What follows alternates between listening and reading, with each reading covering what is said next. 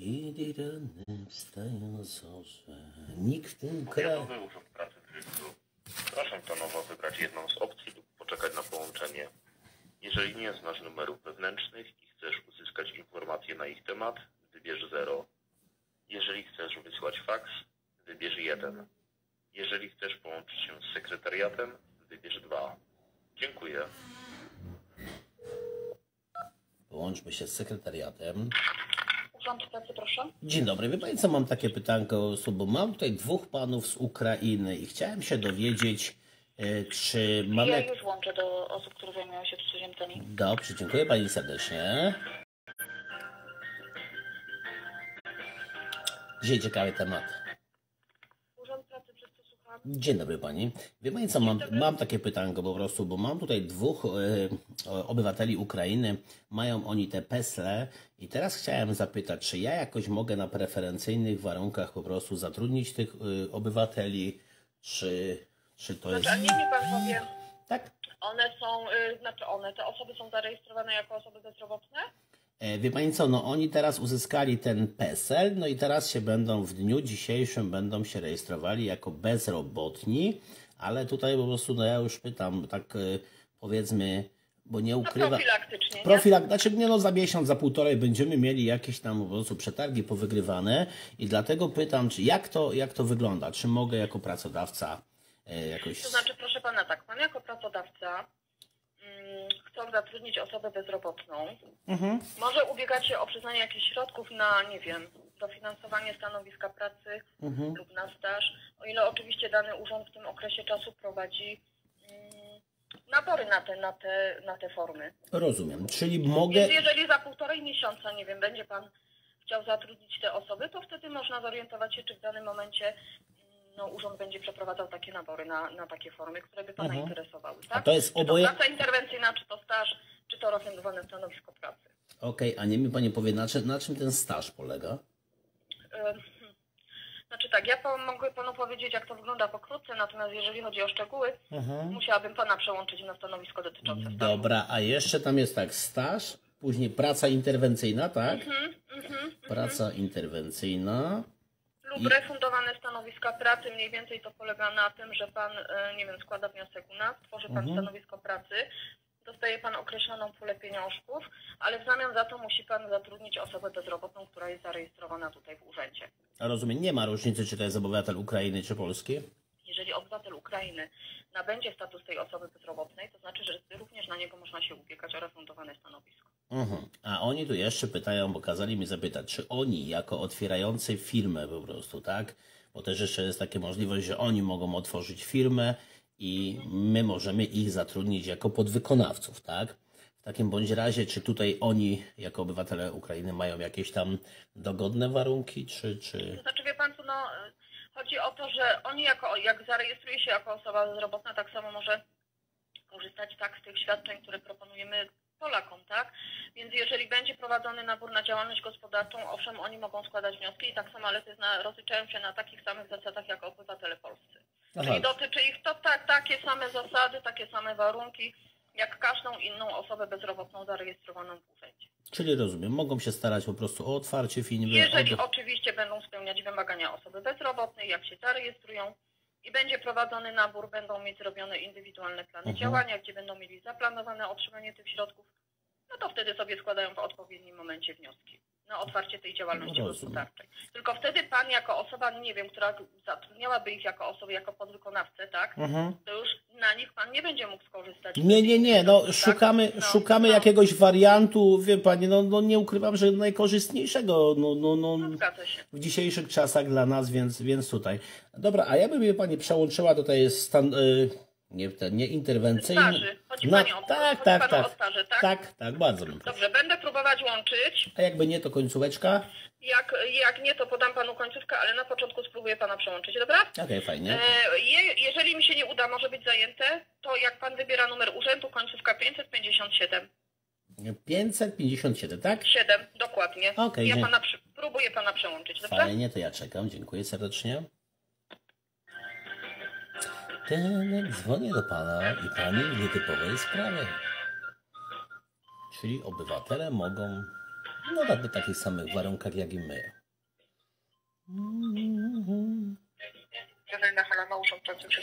Dzień dobry, wie Pani co, ja bym się chciał dowiedzieć coś o takim y, zatrudnieniu na, momencie jak to jest, na stanowisko, y, kurka, Basi mi tu Pani nie do końca zapisałem, prace interwencyjne i jeszcze tutaj jest stanowisko staż, staż. E, Proszę pana, jeżeli chodzi o prace interwencyjne, zajmuje się pani e, Renata Rus, e, także mogę Mhm. pana przełączyć. Natomiast jeżeli chodzi o staże, oczywiście mamy taką formę. mm, Kierujemy na staże głównie pięciomiesięczne, mm, zazwyczaj z deklaracją zatrudnienia, z tym, że mm, będąc na stażu jest pan cały czas osobą bezrobotną, no i otrzymuje pan stypendium za udział w stażu, to jest 1565 zł na ten moment. To jest, to jest 1565, tak? Tak, Mhm. I to jest 8 godzin, po prostu ta osoba jest na stażu, czy jak to wygląda? tak, proszę pana. 8 Mhm. godzin, 5 dni w tygodniu. 5 dni w tygodniu, tak? W tygodniu. I to jest 1565 zł. A co jest z ZUS-em i tymi sprawami? Jak to. Aha, to czyli jest bezrobotny, Jest, czy. tak, jest pan cały czas, dokładnie, jest Mhm. pan cały czas zgłoszony jako osoba bezrobotna, więc y, składki idą od nas. Ja rozumiem, a nie mi pani powie, jeżeli to jest obywatel Ukrainy, to co wtedy? Proszę pana, jeżeli on y, jest y, legalnie tutaj w Polsce, bądź też ma y, status uchodźcy, to też może korzystać z tej formy Znaczy, chodzi, chodzi, chodzi, o, chodzi o legalność. No, przekroczyli granice, gdzie były te wariacje takie tam. Mają, status mają, uchodźcy, mają, mają, tak? mają nadany, mają PESEL, czyli jak mają PESEL, czyli są. Musi mieć status uchodźcy i być zarejestrowany tutaj w, Urzędzie Pracy jako osoba bezrobotna. też weryfikowane uchodźcy, tak? dokumenty? Uchodźcy. Statut uchodźcy, a jeżeli nie ma tego statutu uchodźcy, to co wtedy? No to pytanie, czy wcześniej, tak? Już, y, bo być może był wcześniej w Nie, oni, oni byli chyba wcześniej, no tylko tam się rozpoczęła ten konflikt zbrojny, no i oni nie wyjechali tam, nie? Proszę pana, jeżeli chodzi o osoby z Ukrainy, no to przede wszystkim em, one muszą być zarejestrowane jako osoby bezrobotne, żeby mogły skorzystać e, ze stażu, tak? Ja wiem, wiem, tylko chodzi mi o to, Mhm. mają PES, e, mają, Wszystko weryfikujemy e, przy rejestracji. Osoby, które rejestrują, weryfikują sobie dokumenty. Jeżeli osoba już jest zarejestrowana, to jak najbardziej może skorzystać. Tylko wie- pan co, ja No. bardzo pana przepraszam, ale gdybyśmy mogli się troszeczkę później umówić na rozmowę, ewentualnie mogę do pana odzwonić, bo ja tutaj mam kolejkę, mam panią, którą obsługuję Mhm. i ewentualnie możemy sobie troszeczkę później umówić się na rozmowę. No nie chodzi mi tylko i wyłącznie o jedną ostatnią rzecz. Z kim, Proszę z, kim, z, kim, z kim się mam skontaktować, żeby sobie sprawdzić po prostu, co oni mogą zrobić? Bo są to ludzie, którzy mieli pozwolenie na, na pracę, później wy, wybuchła ta, no powiedzmy, ten konflikt, gdzie oni tam uciekali, więc oni nie wyjechali. Wiem z tego, że mogą być tam chyba do lipca, sierpnia, legalnie są w kraju, tak? Są legalnie. I teraz kwestia jest właśnie, co oni mają zrobić, no bo ci ludzie po prostu gdzieś tam chcą coś robić, żyć, czy, czy, czy, czy, A proszę pana, mm, pytanie, czy y, starali się o to, żeby się zarejestrować jako osoby bezrobotne, czy... No wie pani co, no właśnie jakoś tam mieli jeszcze fundusze po prostu na to, że e, żyli z tych funduszy, które wcześniej zarobili, no ale widzą, że się im te fundusze kończą i, i chcą jakoś nie być obciążeniem po prostu dla narodu polskiego, więc chcieliby podjąć jakąś Pracować. pracę. Tak, tak, tak.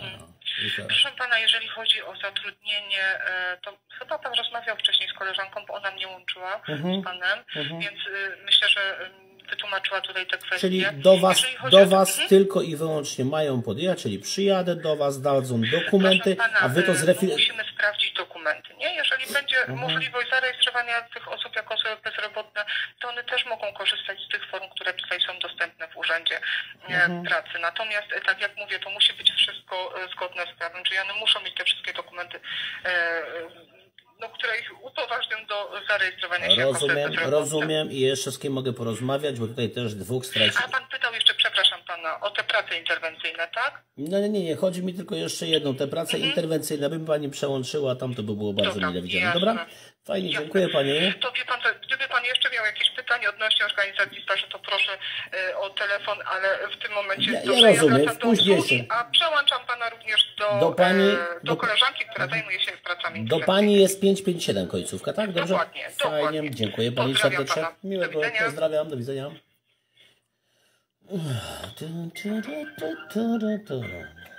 Co? Wiedza nie zabija, trzeba zapytać. Teraz się dowiemy, co to jest jeszcze praca interwencyjna, proszę Państwa. Czyli tutaj wiemy, że osoba na 5 miesięcy, w Rudzie Śląskiej są tylko 3 miesiące, z tego względu, że nie dostali pieniędzy. W Żywcu widzę, dostali na 5, a normalnie takie staże... Mhm. Halo? Słucham? E, Dzień dobry. Wie Pani, co chciałem zapytać dobry, o witam. prace interwencyjne. Na czym to polega? Bo tutaj się przyglądamy jako firma i tutaj mamy panów z Ukrainy i chcemy, chcą, oni się chcą zarejestrować, tak? Oni się chcą zarejestrować i teraz mamy pytanie, jak to zrobić? Czy na własną działalność, czy na ten jakby mm, na prace interwencyjne? No jak to no, najlepiej? No chcemy mieć po prostu informację, jak to możemy. Nie jesteśmy obeznani w tej dziedzinie i tutaj chciałbym się dowiedzieć coś na ten temat. To może pokrótce panu wyjaśnię, na czym polegają prace interwencyjne. Bardzo dobrze? bym prosił o. Okej. E, Więc e, proszę pana, prac, zatrudnienie w ramach prac interwencyjnych to jest umowa na 9 miesięcy w pełnym wymiarze czasu pracy. I proszę pana, przez e, pierwsze 6 miesięcy mamy refundacji 1300 zł. Czyli te- ale- tej kwoty. 1300 zł to jest pensja, którą dostaje ten E, pracownik. Znaczy nie, bo to jest dofinansowanie. Mhm. normalnie, bo to jest zatrudnienie jakby w pełnym wymiarze czasu pracy, Mhm. e, jeżeli chodzi o pracodawcę, natomiast my pracodawcy dopłacamy 1300 zł z naszej strony plus składki ZUS od tej kwoty, czyli Mhm. emerytalna, rentowa i wypadkowa. Ale od tych 1330 Tak, zł. no to już panu Rozumiem. powiem, to by było gdzieś około 1500 zł. 1500 zł w całości, Tak. okej. I on musi być zatrudniony na pełen etat na 9 Tak. miesięcy, tak? Tak, tak. 9. To jest wymóg ustawowy, więc Mhm. czyli 9 miesięcy pracy, 6 miesięcy refundacji. Mhm. Dobra. Okej, i to jest z Państwa strony. Jakie warunki musi przedsiębiorca spełnić? E, Wie pan co? Wiadomo, musi prowadzić działalność gospodarczą. Nie ma tutaj wymogu jak długo, po prostu musi, wiadomo, e, prowadzić działalność, opłacać składki i tak dalej. Mhm. Dobra. No i proszę pana, w okresie wymaganego, określonego naboru składa wniosek. Mm, A ten wymagany w nabór to jest jakiś... Znaczy nie mamy już w tym roku, proszę pana, było, e, było tak duże zainteresowanie z uwagi na brak miejsc, e, musieliśmy nabór wstrzymać. Mhm. Czyli de Także- facto rozmowa zbędna, bo Państwo nie macie już funduszy, tak? No było, wie pan co, no w tym roku było bardzo duże zainteresowanie. No Mhm. i niestety z uwagi na już brak środków musieliśmy nabór wstrzymać. Mhm. A mogę, powiedzieć, mogę się dowiedzieć, ilu do, dofinansowaliście Państwo tych ludzi? Bo jeżeli to jest E, takie... Proszę pana, 50 miejsc. To jest 50 miejsc, tak? Tak. 50 ludzi. Okej, czyli wszystko trzeba w styczniu po prostu, jeżeli są jakieś takie rzeczy. No wie pan co, no akurat tak w tym roku, Ale to było w tamtym roku też było, po prostu to było dłużej. To, tam, no czy, dłużej żeśmy przyjmowali bodajże do czerwca akurat. czyli były większe, No to większe sobie- pieniądze były, tak? No. Natomiast w tym roku, może z uwagi na to, że wynagrodzenie też poszło do góry minimalne, no szukało y, dość sporo pracodawców pomocy z naszej strony. Mhm. Mhm. To jest 1330 zł, Państwo dotujecie. Wie Pani, 1500, około 1000. Około 1500. I Panie co, zastanawiam się nad jedną rzeczą, bo też z ciekawości dzwoniłem do Państwa o to, ile dostanie człowiek po dwudziestu kilku latach pracy, jeżeli po prostu straci firmę. I to jest 1400 zł przez 3 miesiące i przez 3 miesiące, proszę Panią, po 1100 coś złotych. I powiem Pani w ten sposób, i tutaj wiem, że można obywatela Ukrainy również zatrudnić po prostu na te... Można pod warunkiem, proszę pana, musi spełnić wymóg, Mhm. e, czyli zarejestrować się jako osoba bezrobotna. Rozumiem. Rozumiem, ale czyli w ten, czyli u Pani po prostu nie ma sensu, żeby cokolwiek w tym roku pisać, bo to i tak nie będzie po prostu, tak? Nie ma, na ten moment nie ma już Mhm. wolnych miejsc, jeżeli chodzi o pracę internetową. A coś, na co z Urzędu Pracy są pieniądze? O, może tak zapytam. Wie pan co, no czekam jeszcze na środki, więc myślę, że jeszcze staże uruchomimy. uruchomimy Czyli na jeszcze. staże już Państwo też nie macie funduszy? Też już był, wszystko mieliśmy już, że tak Mhm. powiem, nabory ogłoszone na stronie internetowej i w tym momencie już też nie posiadamy środków. Czyli staże. Ale jeszcze z tego, co tutaj słyszałem, ja akurat stażem się nie zajmuję, na pewno jeszcze będziemy ogłaszać dodatkowy nabór. Rozumiem, to wszystko na Państwa stronie Tak, internetowej wszystko trzeba na bieżąco, tak, wszystkie informacje obserwować. o naborach A y, dofinansow- a na dofinans- internetowej. A dofinansowania na nowe firmy po prostu, to jest ten, jeszcze co? Jeż- Jeżeli chodzi o fin- dofinansowania po prostu na otwarcie firmy, czy takie coś będzie w tym roku? Też, też, też przewidujemy jeszcze dodatkowy nabór. Aha, czyli to się już Tylko skończyło. proszę pana, no tu dla osób zarejestrowanych, to wiadomo, osoba musiałaby się zarejestrować, jeżeli Mhm. chciałaby wnioskować tutaj o wsparcie na, na działalność gospodarczą, musiałaby się zarejestrować. Znaczy zarejestrować... Jako osoba bezrobotna, Mhm. no i taką procedurę wewnętrzną, no musiałaby zgłosić doradcy zawodowemu, że chciałaby skorzystać z tych jednorazowych środków. Mhm.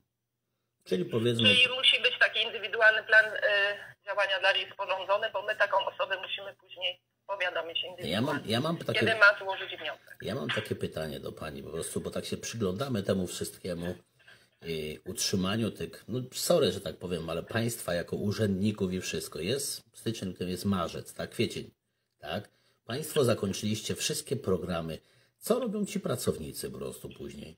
Proszę pana, my jesteśmy w trakcie zawierania umów, proszę pana, kontynuacji poprzednich umów, dopilnowania, czy te umowy są realizowane prawidłowo, więc to, proszę pana, to nie jest tylko zawarcie umów, tylko to jest jakby kontynuacja i jakby mm, tych poprzednich umów No ale czy te- czy czy one przebiegają prawidłowo, Mhm. E, proszę pana, zdarzają się zwolnienia, więc znowu musimy nowe osoby pod Mhm. daną umowę skierować na dopełnienie, więc to cały czas jest jakby e, no dłuższa procedura. Ja Pani całkowicie działania. rozumiem, tylko czy te pieniądze, które Państwo dostajecie jako urzędnicy, czy te pieniądze nie przekraczają tych pieniędzy, które Państwo wydajecie po prostu na te wszystkie działania? Bo jak tak przeliczyć po prostu pracę urzędu, na przykład te stanowiska, a z matematyki, jako wie Pani, przedsiębiorcy jesteśmy dobrzy i tak się przyglądamy temu wszystkiemu, czy to nie zakrawa już o taką delikatną, wie Pani, kpinę? Bo przeliczyliśmy sobie, że 25 do 30%, proszę Panią, budżetu państwa to jest utrzymanie urzędników wszelakich. I tutaj przyglądamy się po tych dotacjach, które Państwo dostajecie, a wiem, no może nie do końca Pani wina, czy Waszego Dostajemy, urzędu, proszę pana, bo na Wam urwali. dla przedsiębiorców, dla osób bezrobotnych i tak dalej. No ale bezrobocie to jest 2% w tym kraju, tak? Proszę pana, ale mamy sporo osób, także my tutaj mamy co robić. Mhm, mhm. Ale taki po prostu jakby bilans Państwo robicie, no bo dostaliście w tym roku mniejsze pieniądze z tego, co widzę, tak? Z budżetu państwa. Proszę. Z- Dostaliście Państwo stosunkowo chyba mniejsze pieniądze po prostu. Nie, no mniejsze w tym roku, natomiast jeszcze czekamy na do, dodatkowe środki. Mhm. A jak nie będzie tych środków? Nie liczymy, że będą. Że będą. Mhm. Mhm.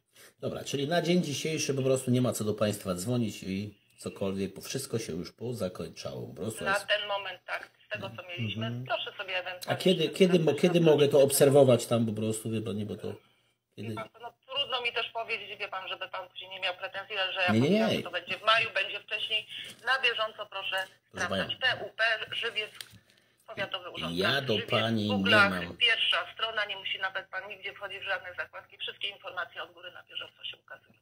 Żeby Pani wiedziała, ja osobiście do Pani nie mam pretensji, ja po prostu patrzę, co dzieje się na rynku, czyli No, leci, tak, leci, lecimy na łeb, na szyję po prostu, jako państwo polskie, tak? Coraz większe opłaty i te wszystkie rzeczy. Przestaje nam No się niestety. przestaje nam się opłacać po prostu prowadzić działalności gospodarcze, dlatego zastanawiamy się, gdzie te pieniądze idą, tak? No, szkoda, że pan nie zadzwonił wcześniej, bo moglibyśmy tu coś podziałać. Natomiast Mhm. no, w tym momencie no już troszkę późno, ale Okej. miejmy nadzieję, że jeszcze się coś ukaże i z czegoś będzie O, wie pani, ta nadzieja matką głupich, ale każdą matkę trzeba kochać. Miłego dnia Pani życzę i dużo zdroweczka. Pozdrawiam serdecznie. Ja również panu życzę. Do widzenia. Do widzenia.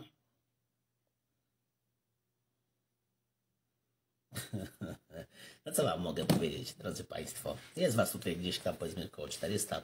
400. Bardzo proszę o udostępniania z tego względu, że e, czym więcej to udostępnicie, tym lepiej, bo tam widzę, że te moje filmiki są gdzieś tam porywane przez jakieś strony, kopiowane.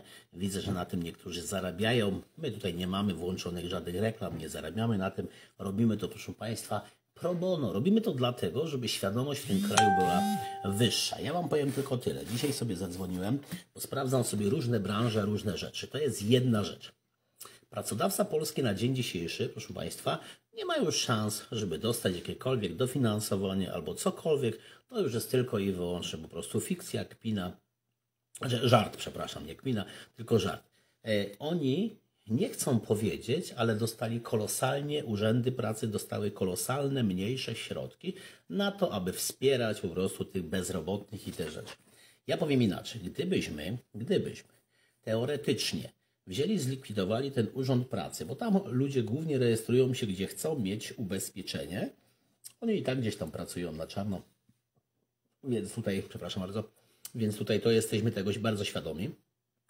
I gdzie to wszystko idzie? Ciekawą rzeczą jest tego, że powiedzmy, macie takie 100 zł, przykładową stówkę macie, 100 zł, proszę Państwa, i pamiętajcie, że z każdej tej stówki, to jest budżet państwa.